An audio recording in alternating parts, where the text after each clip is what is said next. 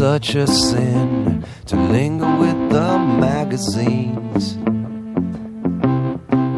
I want a chocolate bar or maybe something sweet.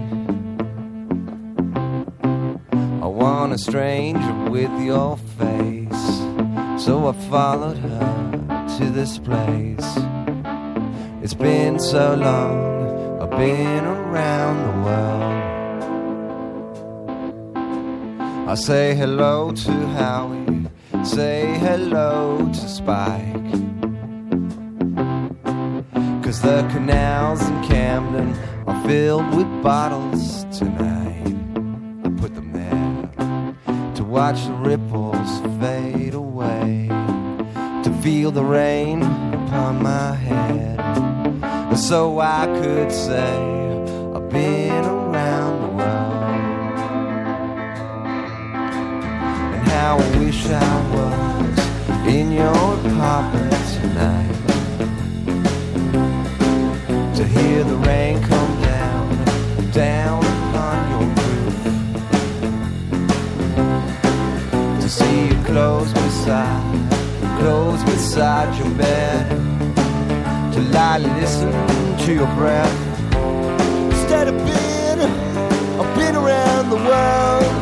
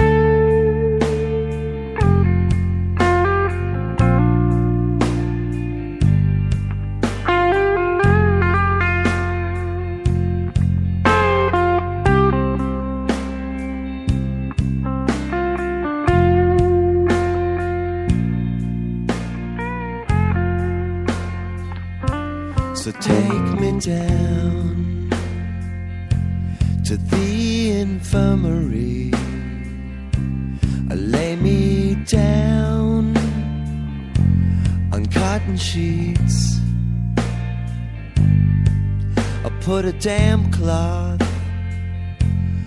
on my forehead. Lay me down. Let me sleep. I know the whiskey, it won't soothe my soul.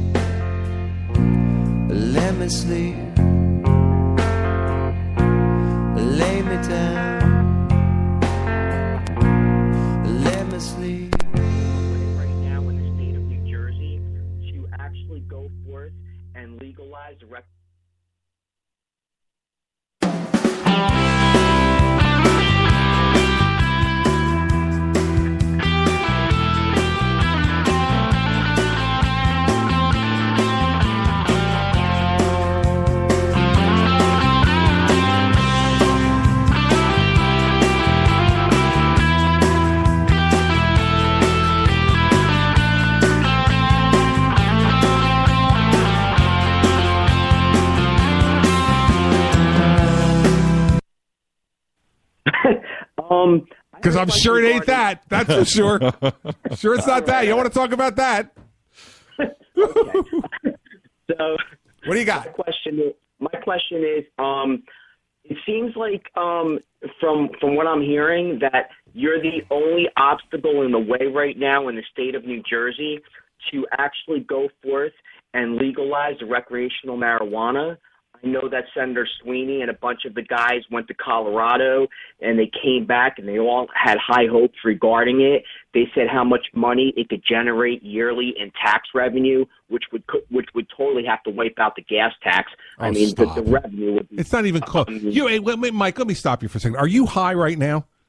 Because if you're telling me, if you're telling me that tax on recreational marijuana would wipe out the gas tax, the gas tax raises 1.2 billion dollars a year. At what level are you taxing recreational marijuana?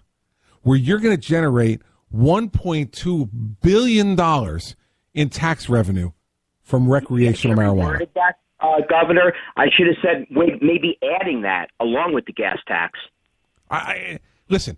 That to me, legalization of marijuana for tax purposes, and, and that's the only way people justify it because you can't justify it any other way. It's blood money. That's what it is to me. I have watched Um, because I'm sure it ain't that. That's for sure.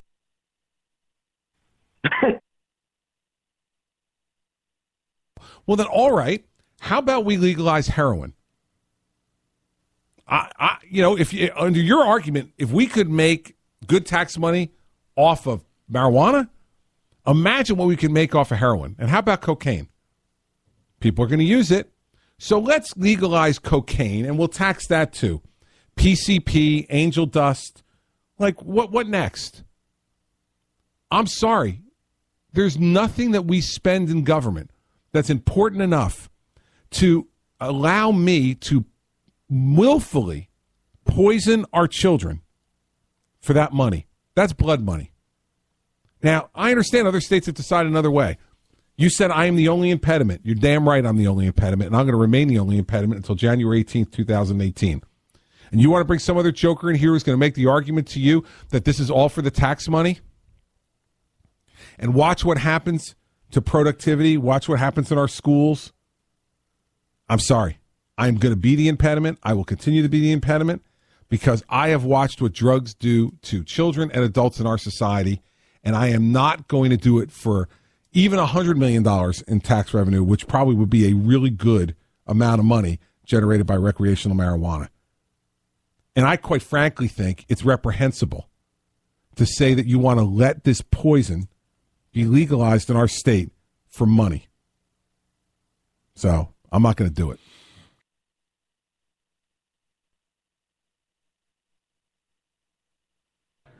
Alrighty. We have launched.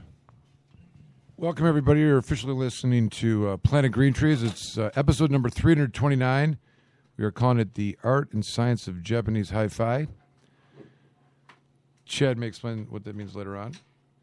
But uh, nevertheless, we are here on a special Wednesday night show. Thanks for joining us if you're listening or you're listening to us on the uh, recording afterwards. We're doing a Wednesday show because, of course, tomorrow is Thanksgiving and uh, people be doing whatever they do instead of being here. But before I uh, get off topic, let me first go around the room here. We are a little lighter in community entertainment, but uh, the quality level is extreme. Let's start with Chad from the uh, Birmingham Compassion Club and our technical director here. Good evening. It's nice to be here. Chad has promised our Wednesday gathering tonight uh, would be technical issues free. He's promised that. So if those happen and he lets anybody down, it, it, and there's any letdown, it's from Chet. All right, and uh, moving around the room, we have, uh, of course, we are without our special producer. He's not here, and neither is our uh, special um, news junkie. It'd be Rick Thompson, the uh, editor in chief of the Compassion Chronicles. He may be calling in. We may be able to reach out to him and get some news for him for uh, content. Also, Jamie Lowell has uh, left the building. We're not quite sure what his whereabouts are, but he may be calling in, hopefully. And uh, moving next to me, we've got uh, Jim Powers. Uh, Jim Powers of uh, Michigan Parents for Compassion and uh, one of the MI Legalize uh, board members. So welcome, Jim Powers. Good evening, everybody. It's good to be here. Happy Wednesday. Happy Thanksgiving. Jim promised to be very entertaining tonight. He's going to be running the phone lines. The telephone number is It's 224 803 3098. And my attendance here was dependent on technical glitch free evenings. That's right. So, more pressure on Chad. We have internationally renowned uh, lawyer, friend, and compadre in the battle of insanity. Please welcome Jeff Frazier. Shout out to Michael McKinney and Mary and Jennifer and baby Maraya, brand new baby, thank goodness. Safe and sound, but in some dire need of getting back on her mother's breast as often as possible. We got Dr. Wagner here. We're going to talk to you about that. We are. Before I get to, I want to introduce uh, Jeanette Warner. Jeanette is here. Thank you for joining us tonight. Oh, it's so nice to be here with you guys. Jeanette prom- promised to be very funny and entertaining and offer a lot of commentary tonight. and of course, I, as it was mentioned, he's uh, been away for a while, very busy uh, delivering babies and coming up with a cure for autism. You've been busy? Um, please welcome. We're really, really happy to have him back. He's been away for too long, but our, our good friend and really champion of uh, many things that we all believe in here. Please welcome Dr. Christian Bogner. Hello. You're going to be more talkative than, than that tonight. I know you're just warming up. It was cold outside. We'll get you talking. But uh, let me do this. Let me do a couple of shout outs real quick. Uh, you know, the people that aren't here, and I've, you know, call on in. I give a shout out to our friends Eric Gunnels and the Theo and Wendy team over there, all the people over at the MMA, David Leiter, our director, Pam and Dewey Thomas, of course. It's been a light week for us, but we get the rest we're going to need it for the following, you know, final stretch here in 2000. Was it 16? 16. And uh, any other shout outs? I don't know. We'll, we'll try to get some people to call in. If uh, we're missing people you want to bring it to our attention, please do that. All right. So today we're kind of going to go. Uh, we don't really have. We have a very organized and well thought out and planned and prepared show. Totally. Yeah, really. Um, we're expecting Dr. Bogner to uh, utilize some of that and give us some information about what he's been up to. And in regards to autism, as, as many of you may know, he uh, presented for a conference on autism and medical cannabis in Colorado. Is that right? Yes, sir. That was nice. And uh, there's a uh, presentation I understand that was uh, available to those. You had to contact uh, you or Autism Dad on Facebook, and that would have been who's Dwight, our friend Dwight, and that would have been uh, mailed out. But um, we're gonna we want to talk about that, what that experience was like, and get into some of the details and where you're why you feel that uh, you know the the progress that may have been made since we did our first go around with the um, petition and uh, Lisa Smith and her son Noah that whole go around. Um, and we're gonna take some callers, do, do a little news and whatnot. But I want to start with a little rant here, then we can get right into it. But uh, the audio or video that we were playing, you can't see it, of course, but uh, was about this Chris Christie who at one point was slated to be potentially the attorney general, and uh, for, for for reasons that I find very interesting, he was kind of kicked out of the administration. He was originally assigned, I understand, to the transition team, and all the releases and clearances were done under his signature, and he would be the leader in that. And there's quite elaborate process, and then of course he was released from the team, and now he's appearing. This was an interview that he had on radio in, in New Jersey the, the reason I understand that he was thrown out is that while Attorney General, he prosecuted one of who is now Donald Trump's son-in-law's father, real estate mogul. Right? Is, this, is that the way it went? And uh, this is um, one of Donald Trump's daughter's husbands, whose father, real estate, a lot of money, and Christie went after him. And I, you know, the footage is Christie did trying the case in the public and lambasting and whatnot. So there was clearly a conflict there, and. Uh, Looks like uh, Chris Christie got the short end of the stick. So he's now back in New Jersey campaigning. I understand that, you know, there was always also a lot of speculation that because of the bridge gate, his whole stopping of and, you know, shutting down the, uh, the bridge intentionally and doing it for political payback. And many of his inner circle working on his staff had been uh, questioned and interviewed and investigated, and some of them were charged. And I think it's pretty clear that it's going to be interesting over the next year to see how much uh, evidence comes out against Christian if he's actually charged. But anyways, I bring all that up because I want to, you to have a very objective, clear picture of who Governor Christie is. And then I want to talk about what was he talking about? Well, the scenarios it's it's current modern day. It happened the last week. He was being interviewed on a radio show, and one of the callers from New, from New Jersey called in and said, "Hey, I understand that you are the impediment to the medical marijuana program going into effect and potentially legalization. This is all the tax dollars that the state can get.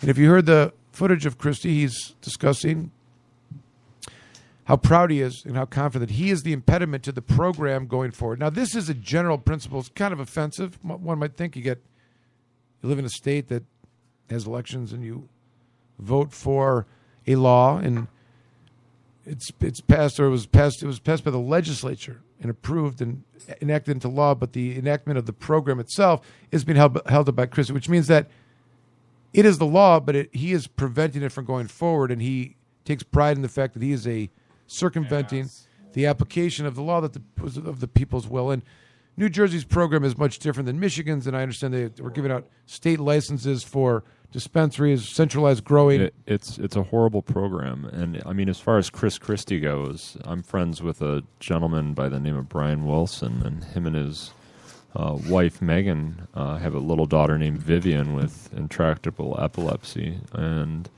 um, he's told them right to their face, like, we're not going to make medibles legal for anybody. I don't care if it's you. I don't care if it's you know God Himself. And then when he was his hand was forced because the public backlash was so strong, they implemented a law that would only allow medibles for people up until they're 18 years of age. So then you had a total supply issue, and he knew it. He's he's a total asshole. He has no regard for the will of the people, and certainly no regard for the sick. So that was really the point I was trying to make is that he is totally disregarding what the wishes of the people were, and his arguments that are being made they still exist in the world. It's almost like, you know, how far have we evolved? You know, what have we learned?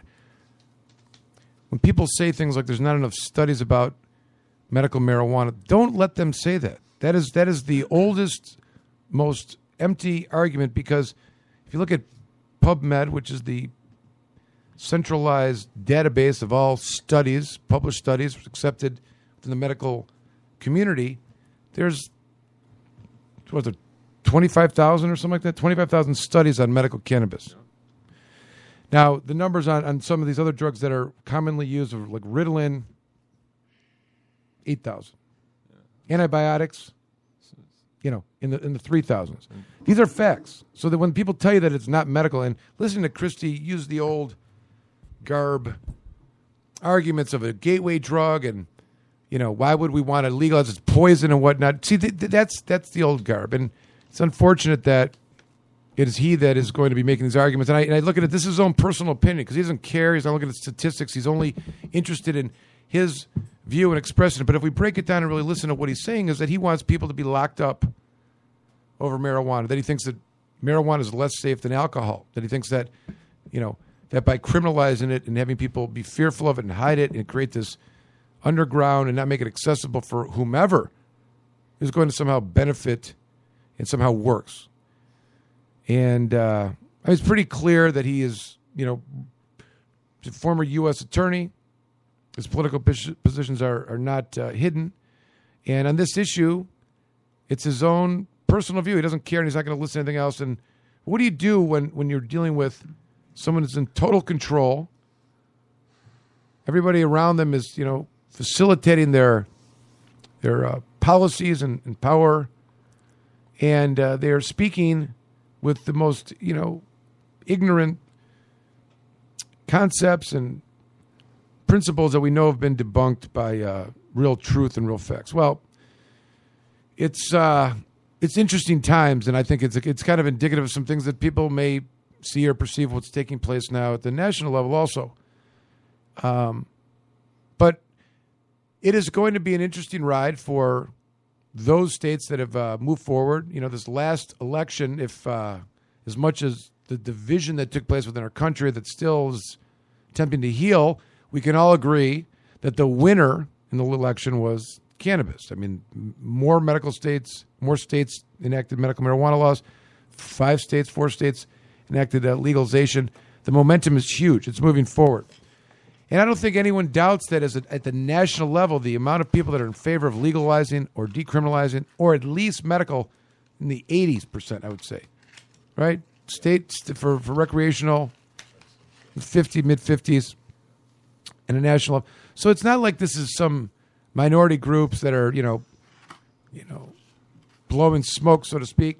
This is a real conscientious agreement of the of the mindset that really crosses political parties and what I think that you could find in you know each of the parties a group of individuals that independent of their you know within their political philosophy can find the reasons why um, marijuana should no longer be the cause of arrest and incarceration and loss of license and other rights that go along with it. But what do we know from what's happened so far? We know that despite the last election, a number of states declaring that they are going to treat marijuana not as prohibited as it was prior to the election. They're going to going to provide some protections and some rights associated with that to some degree. And what do we know? We know that the uh, elected or the appointed by the president um, to the attorney general position, somebody who was appointed by a previous president to be in the federal judiciary Reagan. by Reagan and was Sessions, right? Sessions was named from Alabama. Seems to have a very antagonistic position to marijuana. One that may even be akin to Christie, you could say. Could be worse. I would I would add the caveat that he has said that it, he has actually gone on record complaining of DEA and federal presence and drug enforcement in his state of Alabama. So, like so many Republicans, they they stand by the state rights. They say I'm against it, but the state should Yeah. have freedom to do what they want. I- we'll see if he puts his money where his mouth is. Well, I you, hope you have you have that political. That's that's one of the point. That, you know, like as I was saying, like even though there may you may presume that Democrats or whatever are more akin, whether it's true or not, I don't know. It, it, it probably is not, but are more akin to be in favor of you know legalization or decriminalization of medical marijuana. At the same time, there's a huge part of the uh, Republican Party that doesn't want the federal government mingling in what the states are going to do and the idea that Obama's going to come in and take out a dispensary or and you know that's producing and the state is authorized and honored is offensive to a lot of these to a Republican mentality unequivocally.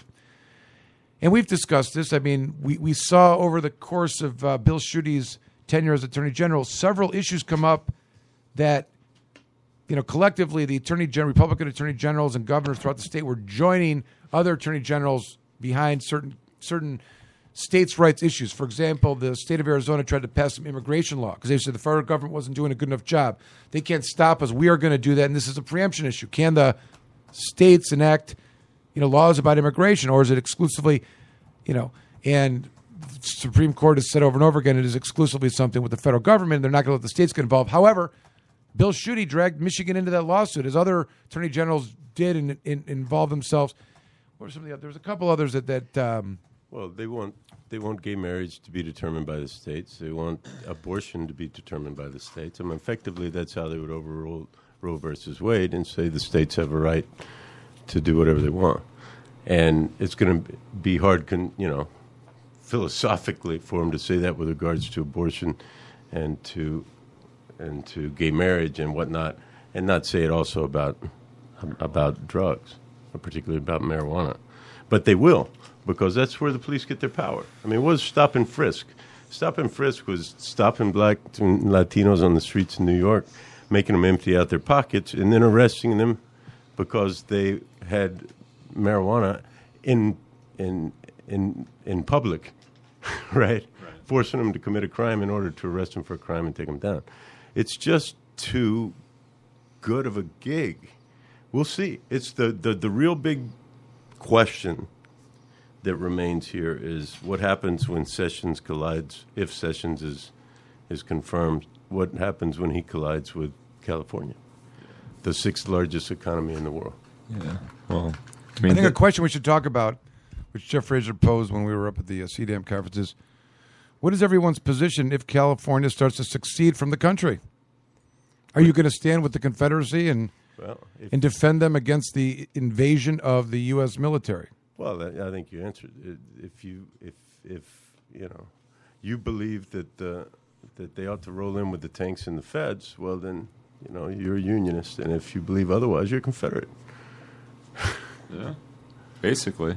But I, I mean, I don't know. Things are going to get weird. I mean, Jeff Sessions is not just antagonistic against against marijuana. He's clearly a racist, and was denied a federal judgeship because of it. Yeah. I mean, this is a guy that said, you know, I thought the KKK was okay until Yeah, I found out they smoked pot. Exactly.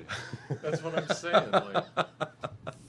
this man, this man worked to jail civil rights activists who were trying to get people to vote. Like us. I know.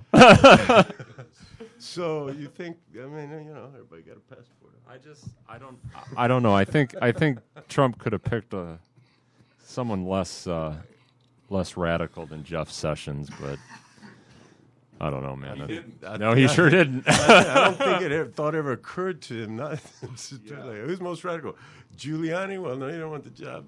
Sessions. Christie would have been okay, right? But Christie would have been because it- perfect, right? But you, you know, know, the son-in-law is you know at odds with the family, so they fell to Sessions, and now what are they going to do? Everybody's going to rant and rave and rant and rave about Sessions, and maybe they'll get it Well, thrown we'll out see. again. And they'll stick and Shooty. Well, that's- I mean, we'll see. You know, Don- Donald I- Donald Trump has been fairly clear that he feels it's a state rights issue. Yeah, so. man, he's been fairly clear about lots of shit, hasn't he? About building Well, that's a what it is, like- wall and about in, and, and investigating Hillary and about all this other stuff he backed off from. Well, that's the thing, like, what- off? I mean- say anything. He's a psycho. I'm ready to, you know, I put a lot of energy in, as you know, like taking the panic room and to convert into the give it a try room. and I'm still in that. I'm still in there, and I want to, and I believe. But then you get, the, you know, the session thing seems a little bit different. But the real question is like, what is the policy? Uh-huh. I mean, if you look back and watched it, and you think and try to piece from wherever his mind, whatever he said, you know, well, what is that first of all? And if you can glean from it something that he will attach to as being, you know, committed to, where does he stand on this? If he's for business, if he's for, you know, the shell's going to say, all right, but but you know the so but but I don't know that he's been clear on that. You know what I mean? Like you don't know where he stands, and and but his appointments would suggest otherwise. Thus You know, far, Well, I mean, it's a, remember this is a Republican administration, and I, I frankly have had more more success with the Republican administrations when it comes to drug policy reform than I have with Democrat. I mean, Hillary was going to move to Schedule Two, and they call it victory for everyone no, except that is a good point. We should all recognize that. You know, I mean, that does nobody any good. And in fact, go ahead, sorry, Joe. I was just going to say the Republican Party platform. Every single candidate for president all said leave it to the states, including Donald Trump and including, in fact, Jeff Sessions has said leave it to the states. Now that's going to collide that Republican power, right? Which I think is quite actually a bit more, you know, reform minded than than the Democrat side, which largely, you know, beholden to prison guard unions, police unions, and whatnot.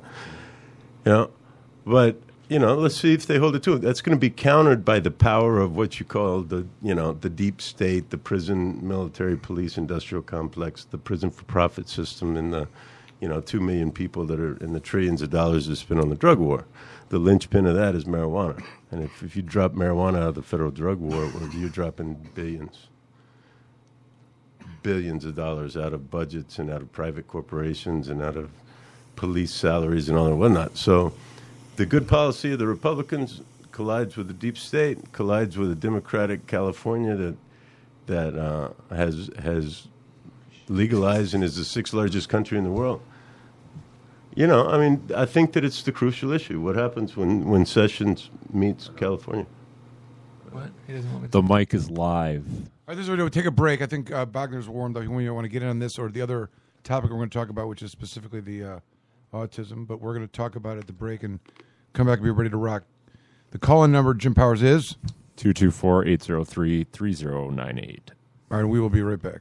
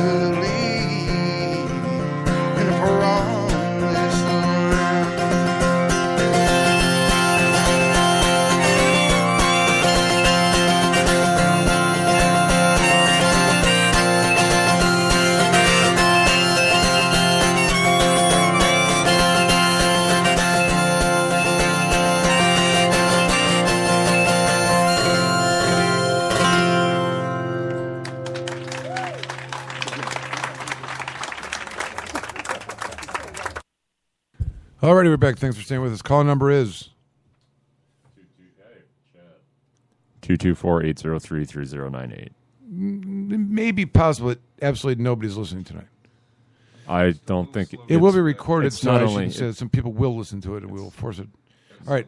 Without further ado, we have a very special guest. He's been away for a while, Dr. Uh, Christian Bogner, who we, good friend and physician at uh, Beaumont Hospital, but also actively involved with um, research associated with the diagnosis and disease of autism. So, welcome, every, welcome, please, if you would, to Dr. Bogner. Thanks for coming tonight. Hello. Good to have. You. All right, so um, you presented this uh, piece, and I know you've been working with uh, Autism Dad, who can be found on uh, Facebook and and uh, the name of what's the name of the uh, website that you, or the uh, we're going to give a Uh, Dwight's site is Autism Dad on Facebook. I know what's yours with the autism Website? Yeah, no, the the link, you know, whatever the uh, drbogner.com. Okay, Yeah, if you want my presentation. All right, very good. So, uh, so you did a presentation in college. Tell, tell us what happened. What, like, I know that. What was the purpose of the, the, the gathering? What was it called? And how did they get in touch with you and, and talk about a little bit what, uh, what it was that you presented? Well, I've I've presented this year a, a couple places. The first one was the Holistic Cannabis Summit, which was an online webinar with uh, professionals from the industry in regards to cannabis and different aspects. You know, from me talking about cannabis for autism to um, others talking about PTSD or how to consume cannabis. You know, uh, the forms and methods and all, all all kinds of aspects.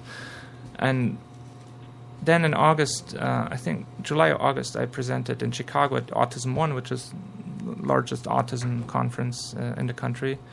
Um, and from there on, um, I got an invitation to speak at Denver for actually a what was called medical marijuana for medical professionals, which was a CME conference and mostly attended by actual um, health professionals that are interested in, in this modality because it's booming mostly in those So states that have a more liberal approach to it than Michigan, for example. And yeah, it was quite interesting. Um, and I presented on autism and cannabis. Before we before we get to that, I just want to clarify. So, so they came to you because you had the presentation in Chicago, amongst other places, and you went there and presented live. Is that right? Correct. And that audience was was doctors or people in the industry generally. Oh, anyone. I met a lot of interesting people, and Right, but it wasn't like your Stanley Brothers, and you know they wanted to get in there, and Okay. I, I met those guys, and yeah, all kinds of different. So this was more for professionals in, in Denver. So Okay, so it was people with it. So, and you did you you were not there live, but you did uh, Skyped in or whatever yeah, video. my wife is about to deliver. In fact, that night after that conference, uh, we got admitted to the hospital because my wife had high blood pressure and pregnancy, and so I kind of knew it not to go. I had it in my gut, and so you know, there we went into the hospital. Glad that I wasn't stuck at a airport, Right, Denver God. or something. You know. So Good, good foreshadowing on no, that. No, but it was still a good crowd. It was 300 physicians that listened in on that lecture, and Were they from all over the all over the country? Mostly. Uh, all over the country. They had uh, Dr. Mechoulam from Israel. Actually, you know him well. Yeah. Uh, he called in via Skype too, and Dr. Grinspoon, who helped us with our mission Sure. petition last year, he he called in via Skype too. So I, I wasn't the only one. So it was well well. I mean, were they part of your presentation, commenting on and participating in it, or did they do their own thing? Uh, Professor Mechoulam talked more about generally like advocating that we do need to have more clinical trials with cannabis. This is the future of cannabis.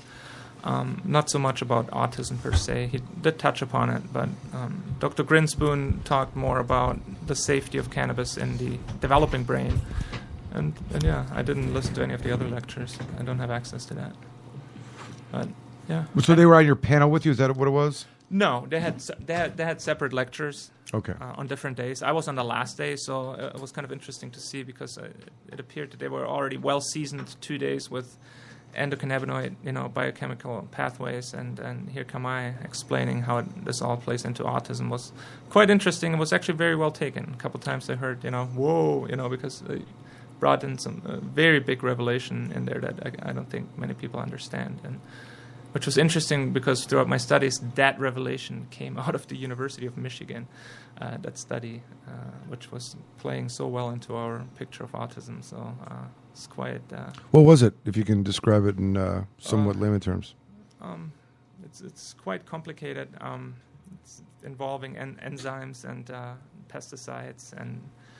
Um, but the basic But you, notion. you identified this in another study that had nothing to do with autism, but the effects that it had on the human system and tied a link to. Correct. So um, the basic idea is that um, there's an enzyme in your body. It's called P450. It's mainly believe you know, most people know it as the big liver enzyme because what it does, it breaks down drugs and uh, metabolizes uh, toxins. Basically, it's a detox enzyme of your body to uh, you know, welcome a toxin into your body and then really get rid of it through the kidneys and through the gut.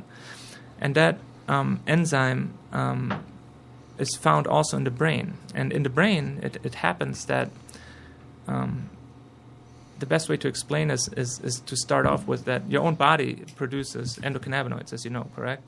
Um, the first one, which most people um, uh, are familiar with, is called anandamide. And anandamide was discovered in the 90s by Dr. Mechoulam um, once they figured, hey, you know, our bodies have receptors for the plant, the THC, so we must produce our own uh, cannabinoid, so to say. And, and so they actually found it in the 90s and named it anandamide, um, which translated means the molecule of bliss. But you, you know that. So the basic idea is that you know anandamide in our body uh, is controlling cognition, learning, memory, appetite, pain, um, and even fertility, um, and mostly works on a receptor called CB1. Now, at the University of Michigan, um, they actually found that this enzyme that I was talking about, the, the P450, and in the brain it's called P450D6 what happens is that if the brain is in an inflammatory state, such as in alcoholics, for example, there's 13 different brain regions that upregulate this enzyme P450. And actually, what it does, it takes the anandamide that you express and utilize and convert that molecule and they don't that enzyme like in the liver which breaks down uh, medications in the brain it actually makes anandamide into a 1000 times stronger molecule and then acts on what we call the CB2 receptor. And the CB2 receptor as you all know is mostly known to be a receptor for CBD and so what happens is if you look at the United States patent 6630507 which in the first sentence it mentions that cannabinoids uh, have anti-glutamate effects next to antioxidant effects. So it actually has two effects. It blocks the glutamate receptor and it is an antioxidant. And so what happens is that the anandamide gets converted via this enzyme into a 1,000 times higher CBD and basically protects the brain um, from inflammation. And so the problem is that this enzyme gets targeted by glyphosate. And mm-hmm. glyphosate is a pesticide that is very prevalent everywhere in your water, on your clothes, and vaccines and prenatal vitamins and newborn formula. And glyphosate is very destructive to that P450 enzyme, and we have evidence of that. We can prove it. We have it black on white. Was it, wait, the, the, the, the chemical that you're talking about is called what? Glyphosate. It's Monsanto's Roundup. Right. Roundup has Understood. So we, this is not. Uh, and, and, and you've you've maintained, and I know you've shown that the. Although it's, maybe you can tie it in more, but the um, when Roundup began to be utilized in, in the masses that it was in the years that it was being distributed, the uh, began the rise of autism. And Well, let me tell you this. In the 1970s, Monsanto patented uh, Roundup. Um, and it actually came about that it was first utilized in the industry as an anti-corrosive for chemical spills in, in the industry. And then what happens that it spilled so much uh, on, a, on a plant one day and it killed the plant, and they figured, hey, it could be uh, used as an herbicide, as a weed killer. So they patented it in the in the 80s as such, uh, as a weed killer, and uh, heavily marketed it in the mid 1990s when soy and corn first became um, uh, genetically modified crop approved uh, by the USDA, and and so the pesticide sales boomed in those years in the mid 1990s, and paralleling that curve of sales of uh, uh, glyphosate also skyrocketed the numbers of uh, autism. If you look at autism in the 1970s and 80s, the incidence of autism was about one in 2,000, and today the incidence of uh, autism is estimated to be one in 46, with a uh, projection of an autism rate of every other child being autistic in the year 2025.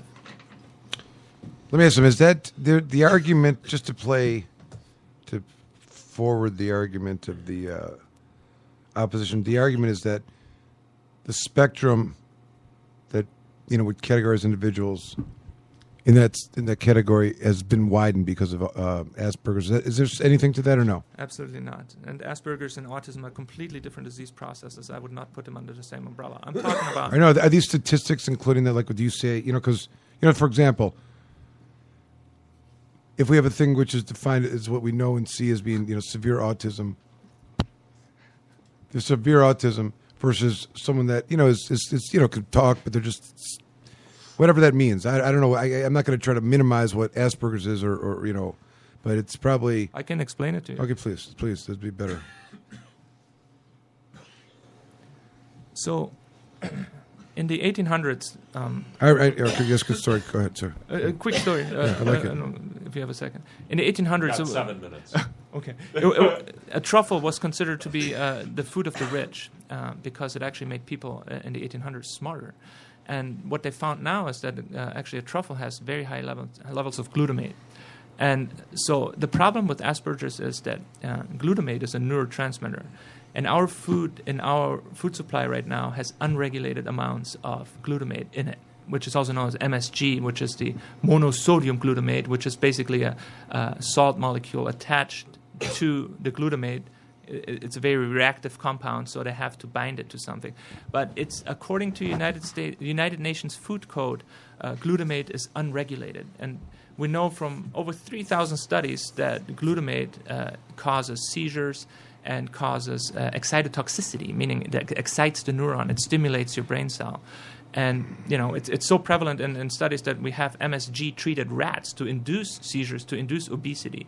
And so the problem is that in those, for example, pregnant mothers who have very high diets and, and, and um, glutamate, for example, uh, at that point, that glutamate gets transferred to the gestation and, and causes brain stimulation, random brain stimulations, uh, and that's why you have, uh, you know, these overdeveloped brain regions. Uh, and children at the age of three can speak five languages or can, you know, play the piano very well, and so that's what Asperger's is. It's a it's a toxicity of glutamate, um, and uh, and and autism is more a toxicity of pesticides. Uh, which can very well can, can be very well explained that it's a completely different problem. All right, but uh, in terms of functionality, the distinction of those two diagnoses are severe. In other words, I mean, I'm not saying it's, you know, one is someone that has uh, got severe autism or, or what is defined as, you know, not, uh, you know, mentally, whereas Asper- Asperger's has some, I mean, there's, I don't know if I mean there may be various ranges of Asperger's, and I don't want to talk if that's not important. mean, but if, if you draw the distinction, I was really getting at the statistic of that group. And when you say that it's going to be one in every other child in 2025, It's not you're talking about severe autism. you talk about people that are not like like we're talking about talking not about that child that plays in the corner and you come home from work and the child has no idea that you came home and you call the name of the child and they have no idea or keep, keep doing whatever they're doing and, and that's severe autism where you're completely zoned out and you have no idea what's going on so. All right. So, in this, you find. I mean, is there? And you, you you think that? I mean, we're going back to the uh, Monsanto Roundup phosphate. Is that what it is? It's produced by that Glyphosate. Glyphosate, and then the. Um, sorry, that's terrible. And then the pesticides, which have the more severe impact or create the more severe reaction in the uh, brain development is what and, and how does that how does that occur or what, what, what, do you have a link to that as you do to the roundup Glyphosate takes out this P450 enzyme. Yeah, that, that's one of the things glyphosate does. But the, the first thing is this um, a child uh, is in the gestation. Uh, a pregnant woman takes prenatal vitamins. I've sent in prenatal vitamins to a lab in Missouri and came back with positive with pesticides. So that's where it starts in the womb because prenatal vitamins have pesticides in them. If you have, for example, why would that be is that because of the materials by which they're making it I come with them Because uh, the last ingredient of that specific pesticide uh, was that one of the ingredients is soy, and more than 90% of soy in this country is genetically manipulated. Genetic manipulation of crops has one simple reason, and that is to resist the sprayings of pesticides. So you kill the weeds, you have increased yield and higher profits. Uh, that's the only reason for genetic modification. There's nothing special about the genetic modification of corn, just so you have a lot of it and you can extract sugar out of it, high fructose corn syrup. But all of these products that are based out of that have glyphosate in it. In fact, the glyphosate is so prevalent that even if you would eat an organic diet, you will have it in your system. The reason is cotton is genetically modified, uh, so your clothes have pesticides on them. Uh, they spray it in the air. They have found they have tested the air, which has traces of glyphosate in it. The only explanation would be uh, the chemtrails, where we have great evidence that there's U.S. patents about chemtrails that the U.S. military put out. Um, and so glyphosate is everywhere. It's a poisoning of humanity. It's a huge problem, and uh, this is not being over exaggerated. There's so many studies indicating disease from cancer to uh, infertility to liver damage to uh, neurodevelopmental problems. Um, and uh, you know, uh, virilization of women, we call it because it's unregulated too there's no national standard uh, the EPA is completely, uh, completely fraudulent. Well, and overseas, they just go number one. All of Plan Colombia, co- coca sprayings, they fumigated the entire country with glyphosate. There's uh, Uh, birth defects in Brazil that yeah. uh, are blamed on the Zika virus that experimentally with frogs and with Yeah. frog embryos and chicken embryos have the exact same uh, cranial malformations uh, with glyphosate and uh, they blame on the Zika virus. So uh, it's big problems. Yeah, big problem in Argentina too with the soy monoculture. Uh, in Argentina, there was 30,000 physicians that went to the streets to protest Monsanto because of the increased uh, uh, fetal loss rates and uh, miscarriage rates. So it's, uh, it's a shame. And um, birth defects, malforma- Yes. malformations, yes? Uh, if you have a white shrimp, for example, a white shrimp, uh, when exposed to 5.2 parts per billion of glyphosate, will die. Uh, a white shrimp has the approximate uh, gestation uh, correlation of a six week human pregnancy. Um, if you look at a pre- prenatal vitamin by itself, um, it, it has about 0.6 parts per billion. So if you correlate that to this white shrimp, you would need a thousand of those pills to kill the pregnancy, but you have to remember a pregnancy is 10 months, about 280 days, uh, 286 days, which would mean it's already one third of the dose that would kill that baby is what you take throughout pregnancy. And then there's so much other things that contain glyphosate. So, uh, in regards to miscarriage rates, we are very bad in the developed world in this country. in fact, we have one third more miscarriages than uh, Denmark, for example. It's like one out of four pregnancies. Uh, correct. It's in, very in high. the united states one out of miscarriages miscarriages before 20 weeks. Yes, very high rates. And that is new to the world a new, new, new medical statistic as opposed to like No, I mean in that's- 10 20 years ago 30 years ago That's from where- 2013. Okay, but I'm saying what what you know what was the medical history in terms of that? Thirty years ago, I know the health care wasn't as good. There was skills, but you know, do we know that? Um, miscarriage rate is at an alarming rate. Okay. It's going up every year. So. All right. Despite the fact that we have allegedly the most advanced medical, you know, prenatal and, and, and whatnot, right? Twenty-five percent, one out of four. What does One what, out of two Americans uh, suffers from a chronic health disease. That tells you a lot. Well, let me, listen. So, w- is it okay? I understand that Monsanto owns the world. They effectuate policy. They've monopolized the foods that we eat, They run the FDA. the seeds that are planted. Right? They've got their own seed stock somewhere, so we're only eating like certain bananas and Well, whatever.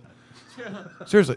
So now is it now is now is it just that they've they, they dominate so much and some of the collateral of their dominance is this roundup and this chemical that is now everywhere and we just got to deal with it and they know about it or is it that it's just something that's not tested it's not brought to anyone's No, attention no, from no. health policy is the world health organization down with this are they back i mean is there any kind of The World Health Organization is where most of the research is coming from. They're warning the world that it causes non-Hodgkin's lymphoma. They have studies from the University of Caen in in, in, in France that shows that it, ha- it causes birth defects and miscarriages and inflammation of the stomach. You know, I see so many patients every week. Any problem that they have in the body, the first question I asked him, "Do you have any problems with your gut?" Hundred percent answer, yes. I am bloated. I have stomach cramps. I'm constipated. I don't go. It's all stemming from glyphosate. If you look at glyphosate, the pH of glyphosate is very similar to your battery acid in your car. pH is 2.5. Uh, if you look at the composition of it, it's three compounds that get heated up to produce glyphosate. It's um, glycine, which is a neurotransmitter, in fact, um, uh, phosphorous acid, which is used in chemical war- warfare, you, also known as white phosphorus. Same thing. It's very, very reactive things. If you would have a highly concentrated form of uh, phosphorous acid drop on your skin, it would burn to your bones straight through. Um, and the last composition is uh, formaldehyde, which is a neurotoxin and been shown to be very toxic to neurons and causing problems with learning and uh, memory formation and things like that. So that those are the kind of chemicals that are uh, in our food everywhere. And you know, if you ask me if this is deliberate or uh, is a contaminant, oh, it's 100% What? deliber- deliberate. Uh, they're spraying the stuff in the air. Well, listen, is the prenatal medicines that are being brought to you and tested by the, you know, pharmaceutical representatives and asking that you're looking at? I mean, do you think that they know that these chemicals exist and that it's you know causing? Absolutely. They don't care. The, the one I sent in, as far What's as their I'm- motivation? Is it because it makes it cheaper? I mean, is it cheaper to make because of that, or they just can't? No. They just can't get rid of it. They just know that it's there. They just know it's there because it's soy. Soy is everything. So you know. You So they know that it's there, and they can't. So they get. But it, why can't they do it without soy? Uh, because it's cheap. Soy is cheap. If you produce it in masses, you can produce more product. Why do they need it? What? Why do they need it? What is? What are we talking about? What, what- what- So uh, prenatal vitamins, for example. yeah. So why do they need soy? Why do they? Why, why can they use like you know? They need it. Because it's cheap. But why that? Why not like peanuts or like you know? Because like people are allergic to peanuts. There- People are allergic to soy. many- soy Not is just a very good carrier and a very good filler, and it's very cheap. And as long as I you see have- it's part of the food bulk vitamin. food? Yeah, we we got to take a break, and we've got Jamie. Who? On the, Jamie's on the line. Good, He's good. going to get pissed if we don't get him on. So we need to take a break and get Jamie on. All right. What's the telephone Continue number? If this. people want to call in and yell. People at want to call in and yell at Jamie or ask Dr. Bogner a question. It's 224 803 3098. See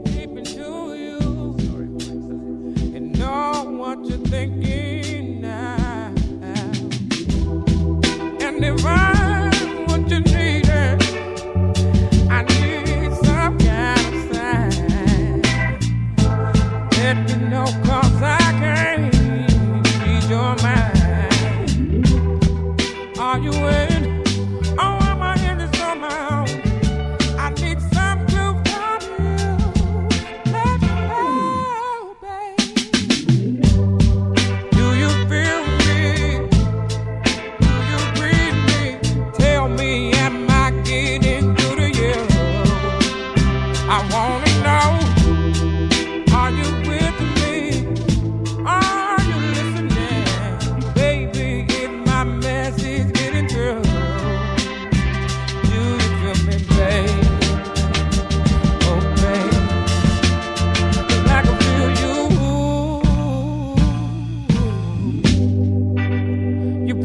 so cool.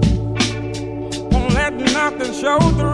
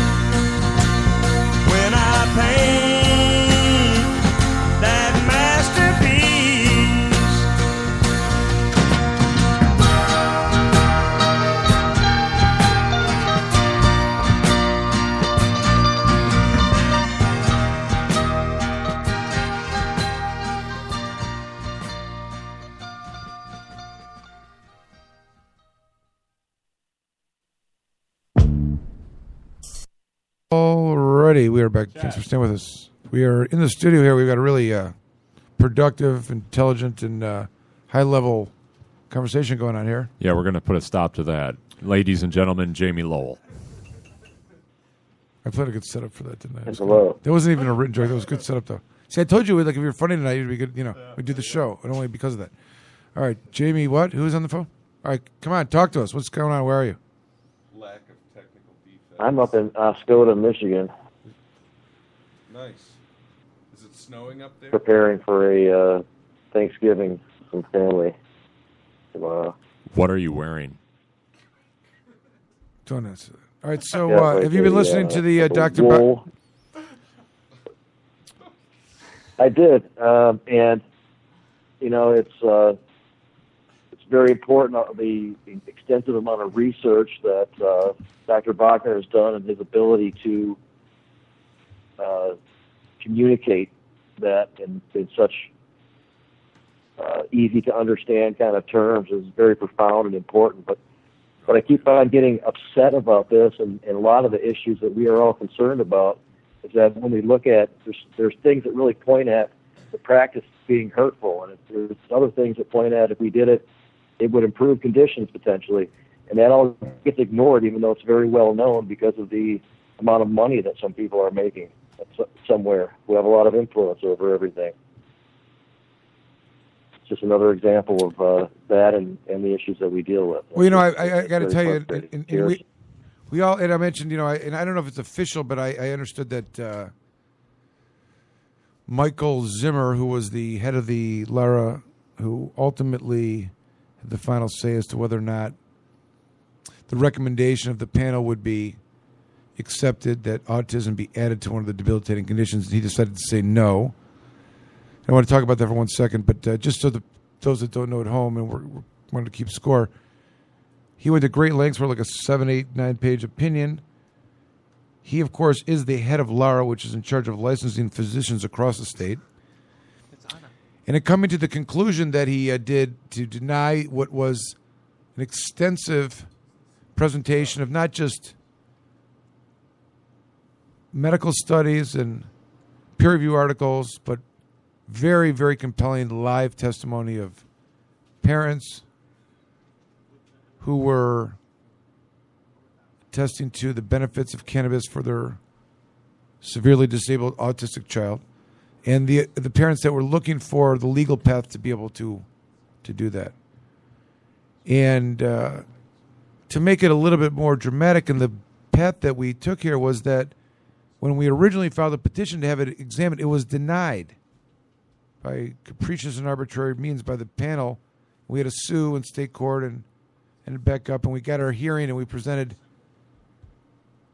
overwhelming and compelling testimony and evidence that this should happen. And in fact, a board or a panel, whatever that was, made up of antagonists, naysayers.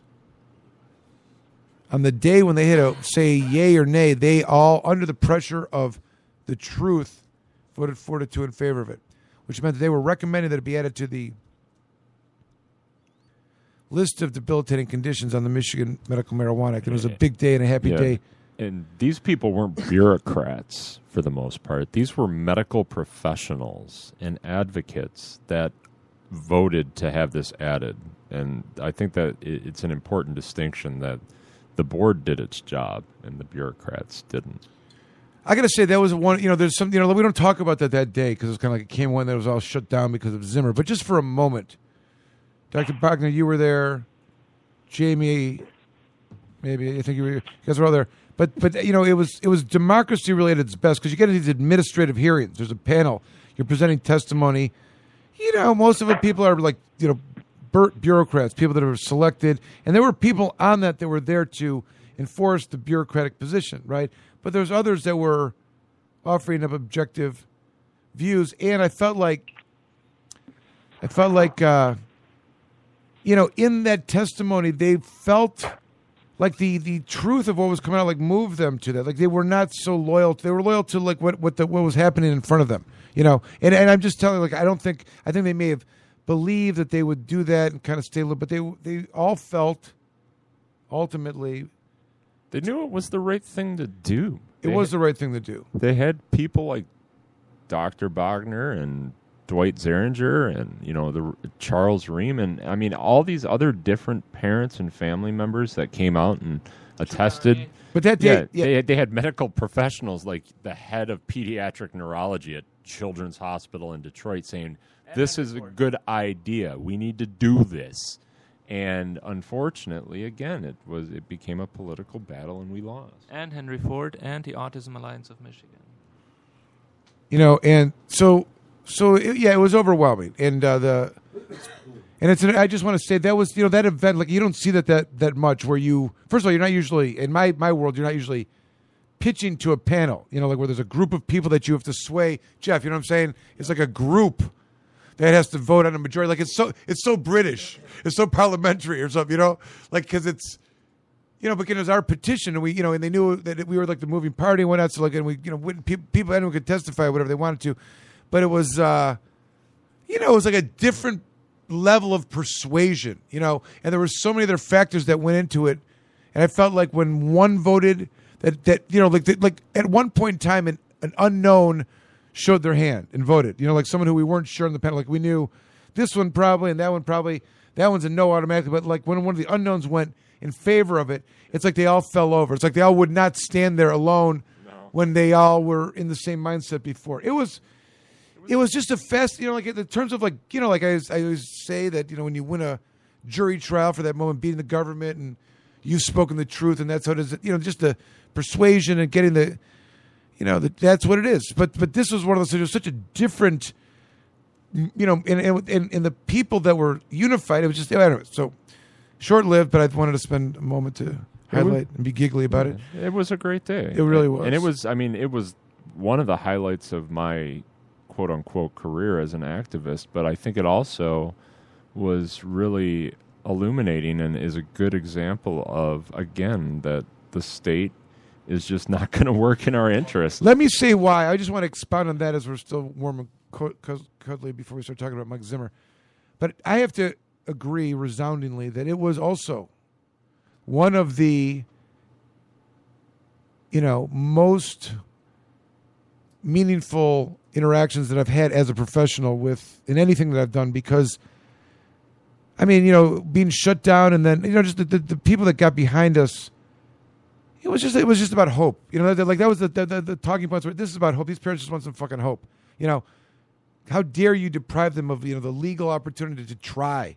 You know what I mean? And uh, it was just I don't know, like the the it was just the idea that that that, that was what was being provided, just the fantasy of it.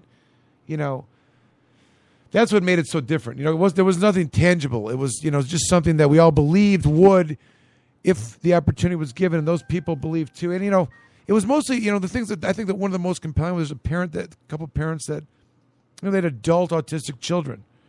You know, they were the they'd experienced every treatment method known to man other than cannabis and knew that cannabis worked because you know their uncle blah blah tried it and it worked, but they were too afraid to do it. You know, and and they knew like the parents were older, they were going to you know, be deceased soon, and the kids were going to have no, you know, just be left to institutionals. It's just terrible. It's just a terrible story. No hope, no hope, and they were there to support this. And then, all right, so that's the story. We we moved this crowd, and then it was sent to uh, Mike Zimmer, and uh, Mike Zimmer, in a very, was, you know, what he would say is well thought out. He concluded that the We thought it was arbitrary and capricious. what he said was that the arguments made by petitioners, attorney Komorn, Dr. Bogner, Dr. Uh, Chugani, Chugani, that any concerns that may be had by the government's interest, if any, to protect, quote unquote, and interfe- inter- intervene here or prevent it, would be based upon, as Komorn said, by their, you know, the, the concerns would be that the certifying physician would not be the patient's treating physician, which is what Komorn suggested and Chugani, that this is something that the doctors should feel free. We think, however, that the doctors that will be doing that will be people that are not qualified to do it and are not actually the treating physicians. Now, the joke of it is, of course, that Mike Zimmer is the person that licensed these physicians that he's having concerns about. So it wasn't us. No, it was his inability to, to licensed competent physicians. force apparently. right. so that was that is so. Anyways, my point of all of this was that I can write this off because that's not a reason.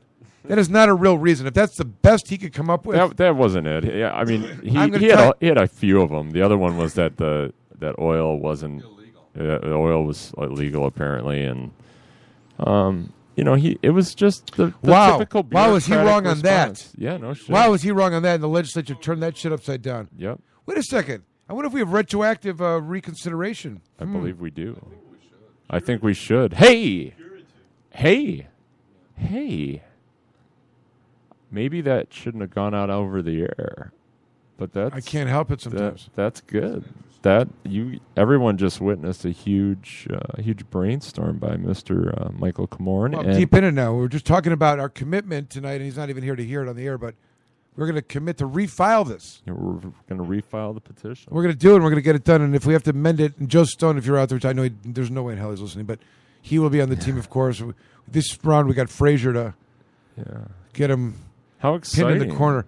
I'll yes, nail their asses to the wall. But uh, the reconsideration maybe in in, in uh, I think it's worth a go because that's clearly not the case any longer, and uh, I think it should be reconsidered. something to think about. Yeah, and we've got a new director. It's really a lot less work. you know what I mean? Like just uh, co- just copy and paste. Maybe like, no, I'm just uh, saying. No, no, it's getting the you know putting together the. It's not easy. These are not simple thoughts to take these big ideas and you know craft them into. Just It will be really difficult to get a yes vote again from the panel on a new petition. You think? We may For not need that. autism, It We- was a there's a new dir- special there's- circumstance. There's a new director. Yeah. Right, but I'm saying that you first, if you start with a new, fresh petition, you have to get the yes vote again. Yeah. And that was a very It was- unique set of circumstances. It, it was, but those circumstances can be recreated, or new circumstances can Laura be interjected. withholding all of the exhibits. Oh come on, come on, There's Chad! no- you know they're no way. you We know they're gonna the meeting. You know they're gonna totally try to screw with us again. It's gonna be great.